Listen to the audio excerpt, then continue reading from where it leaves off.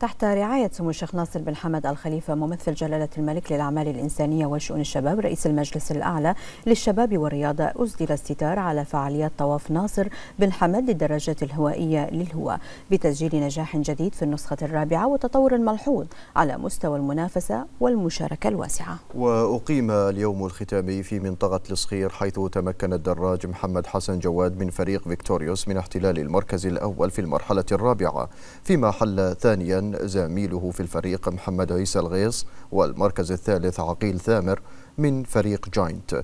أما على مستوى الفئة المفتوحة للبحرينيين والخليجيين والأجانب المقيمين في البحرين حل الدراج الإماراتي ماجد محمد من فريق شرطة دبي في المركز الأول وعلى مستوى الأقمصة للبحرينيين لأبطال الطواف حاز على القميص الأصفر لأفضل زمن. دراج فريق فيكتوريوس محمد عيسى الغيص ليكون بطلا للطواف بالزمن.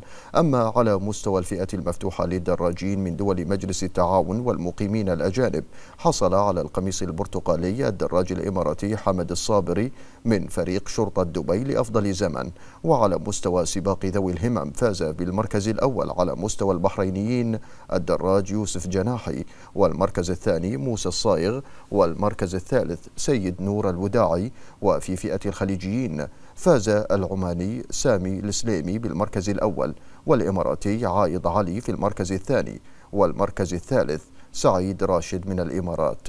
فيما توج الدراج الشيخ علي بن خالد آل خليفة بالمركز الأول على مستوى فئة المكفوفين. هذا وأقيم سباق السيدات لمسافة 40 كيلومتر حيث جاءت الدراجة فاطمة الطائي في المركز الأول للترتيب العام فيما تصدرت الدراجة مريم الخلاصي ترتيب سباق البحرينيات والمركز الثاني من نصيب فاطمة حسين والمركز الثالث فاطمة مراد. أما على مستوى فئة الخليجيات والأجانب جاءت في المركز الأول فرح المري من الإمارات.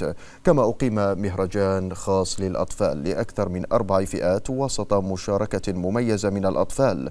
ومع ختام الطواف تصدر فريق فيكتوريوس الفرق البحرينية فيما تصدر فريق شرطة دبي على مستوى الفرق الخليجية والفئة المفتوحة والمقيمين.